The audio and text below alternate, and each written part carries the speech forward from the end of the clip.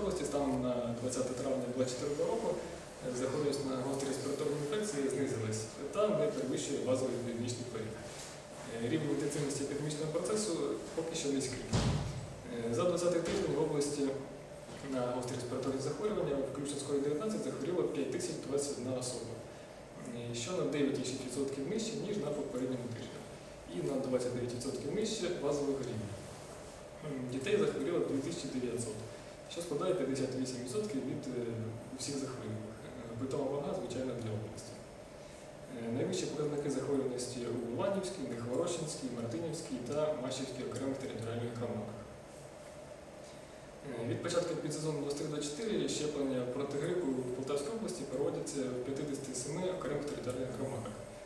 Е, Найбільше щеплень було зроблено в Кременчуцькій ОТГ 1334 та в Полтавській 1166. Е, Показник охоплення вакцинацією проти грипу в Полтавській області залишається низьким. Від початку підсезону е, було щеплено 7634 особи. 6 тисяч з яких це люди з групи медичного та епідемічного ризику, Е, що складає 1,6% від загальної цільової групи. Тобто це дуже мало. Е, Всього госпіталізовано по Полтавській області за 20 тиждень 107 осіб, або 2,1% від усіх захворюваних, е, що є нормою для нашої області. Е, Також із цих е, 100 чоловік 8 були госпіталізовані з COVID-19.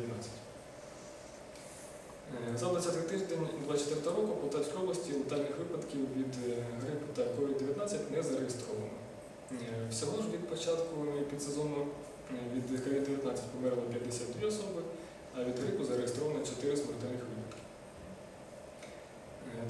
Е, на 20-му тижні по екстрених повідомленнях е, були зареєстровані, наступні захворювання.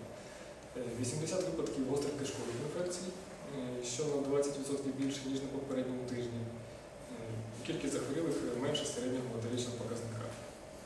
Е, Також було три випадки сальмонельозу у Миргородській та Хорольській окремих територіальних громадах, е, що значно перевищує середній багаторічний показник. Е, Один випадок го- гострого вірусного гепатиту у територіальній громаді. Е, Чотири випадки кашлюку, е, що на 5 менше, ніж на попередньому тижні.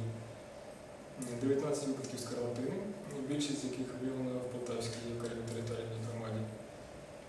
Е, 225 випадків вітерної віспи, е, що на 44 менше, ніж на попередньому тижні. Е, Цей показник в межах двох стандартних відхилень. Е, І 14 випадків хвороби Лайма, е, що на 6 більше, ніж на попередньому тижні. Е, Захворюваність значно перевищує базовий епідемічний